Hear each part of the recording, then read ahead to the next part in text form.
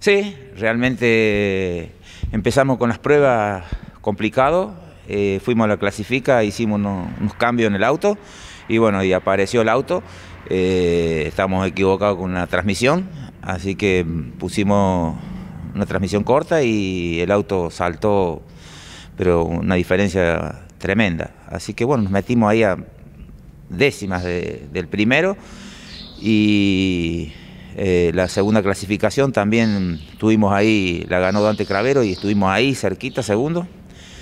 Y bueno, de ahí pudimos hacer una buena largada.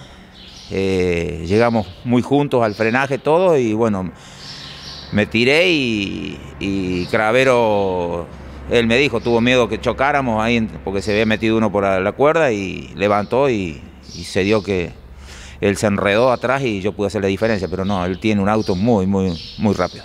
Es decir, esto significa que sienta bien que se pueda trabajar no solamente el día domingo, como pasó en Río Cuarto, sino que tenga algún día como para hacer estos cambios que hiciste en el auto. Sí, sí, por supuesto. Este, eh, ya Río Cuarto, bueno, no tenemos que ir con el auto como está. Bueno, eh, como está ahora el motor, a los tres primeros lo desarmaron totalmente, el motor totalmente.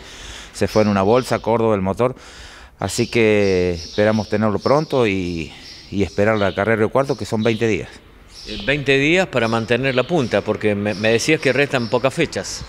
Sí, restan cuatro fechas este, y son 20 puntos, ahora le llevo 17 de diferencia, pero bueno, tenemos que seguir haciendo podio, eh, son fierros, o en cualquier momento pasa algo, este, pero bueno, muy confiado con, el auto que, que me están armando los chicos acá en Maquena. Eh, netamente eso, ¿no? Es decir, que haya gente local que te armen el auto y que puedan hacer cambios rápidos como para que el auto esté más veloz. Sí, realmente acá lo, eh, Raúl Echecolonea, Edgardo Sasso y Hernán Cinti, bueno, laburaron una barbaridad el fin de semana, así que, bueno, y, con todas cosas acertadas en los cambios que hicimos en el auto.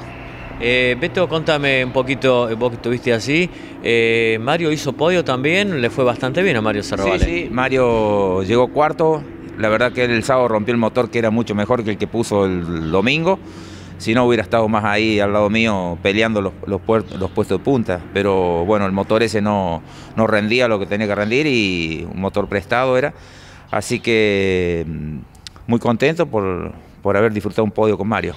Eh, gracias Beto y la mejor de la suerte para trabajar dentro de 20 días y bueno, estar nuevamente hacia un Río Cuarto y por qué no mantener la punta o por lo menos sumar para seguir ahí puntero. Sí, sí, realmente bueno, vamos a esperar Río Cuarto. Eh, Río Cuarto me gusta, lo conozco bien al circuito, la recta bueno, me complica un poco, pero vamos a tratar de sumar puntos gordos de vuelta.